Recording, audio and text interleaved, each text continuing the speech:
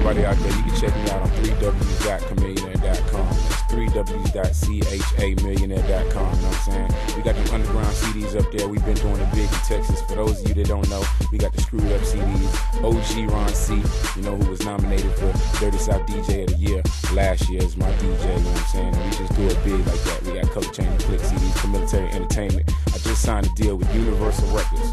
So that means my solo album, Controversy Sells, my first solo record, will drop Universal Records on my imprint Chamillitary entertainment. You know what I'm saying? So everybody out there, if you ain't heard of me, you about to hear from me. And if you've been down with me since day one, then you already know I'm finna light them up, man. You know what I'm saying? I'm an industry nigga now.